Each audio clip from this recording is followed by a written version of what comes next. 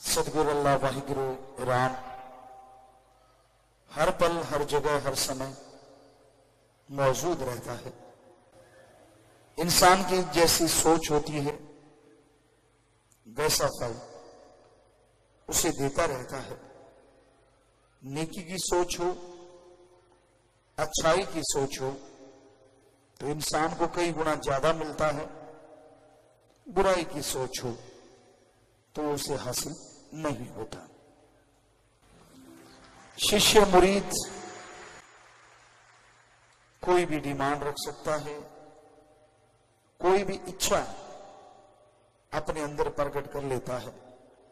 पर ये तो राम, वो ईश्वर परमात्मा जानता है कौन सी इच्छा जायज़ है और कौन सी इच्छा नाजायज है।